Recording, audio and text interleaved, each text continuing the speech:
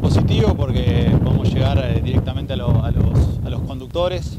Eh, nos interesa mucho que, sobre todo en esta época, sabemos que estamos muy próximos a un recambio vacacional, así que viene bien también un poco revisar la documentación vehicular, sobre todo para aquellos eh, que están pensando ya en, sus vacaciones. Y ya te digo, el trabajo en conjunto con, el equipo de rentas, la verdad que muy muy positivo. La gente se está volcando la a hacer el pago de la patente también.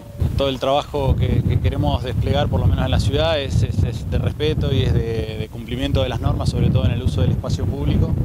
Eh, sabemos, sabemos cuál es el impacto que tiene la cantidad de vehículos en, el tránsito de Comodoro.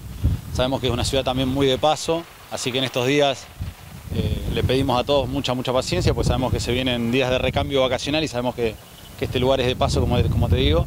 Así que, bueno, con mucha, con mucha expectativa, esperando también el fin de semana, que, también están planteados controles para este fin de semana. Diurnos y nocturnos también, porque ya te digo, justamente eh, entre hoy y mañana va a ser el recambio y bueno, el fin de semana por supuesto también vamos a ir con los controles de alcoholemia. Estamos con el tercer operativo de la semana, eh, en esta oportunidad zona sur, hicimos centro y zona norte los días anteriores y seguimos encontrando un alto grado de morosidad de, todos los vehículos controlados. En el primer día se controlaron más de 130 vehículos y en un 70% se detectó morosidad.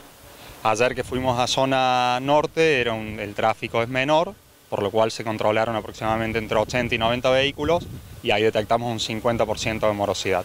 Y sí lo que estamos detectando es que mucha gente se está arrimando, ya sea los que intimamos como voluntariamente a regularizar la situación. Hay por ahí mucho desconocimiento o descuido de la gente o lo deja para pagar el último momento.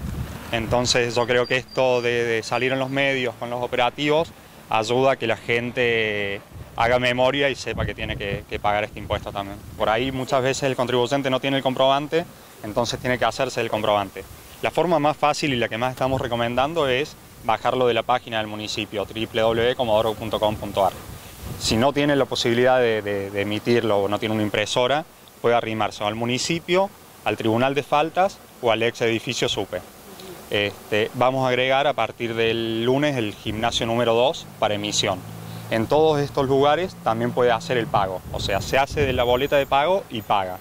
Además, para pagar, eh, también están los medios de pago electrónico, Banelco y Link, y también están adheridos. Pago Fácil, Rapipago, el pago de Chubut, a esto le podemos agregar el gimnasio número uno, tenemos el cementerio y vamos a estar con las cajas móviles, eh, las cajas volantes, a partir del 25 de enero en la vecinal Presidente Ortiz, 26 en la vecinal de Adema, 27 en la vecinal Don Bosco y el 28 en la vecinal Próspero Palazzo.